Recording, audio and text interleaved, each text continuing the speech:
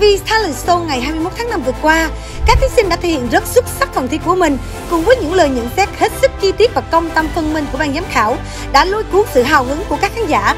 Và cuối cùng đã có đến 17 thí sinh được vào vòng chung kết ngày 11 tháng 6 tới.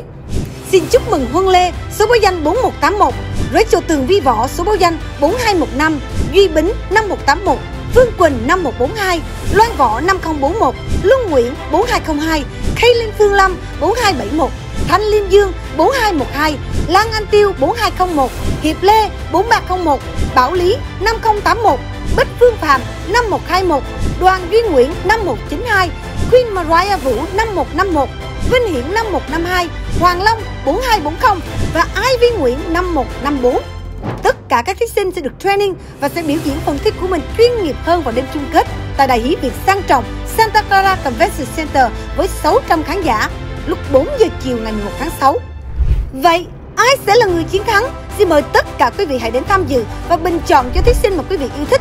Và bên cạnh các thí sinh đêm chung kết, còn có sự tham dự của nhiều ca sĩ khách mời, hứa hẹn sẽ mang đến cho quý vị một đêm nhạc đầy thú vị và bất ngờ. Xin gọi 408 828 2817 để biết thêm chi tiết đặt vé. Ban tổ chức xin trân trọng kính mời.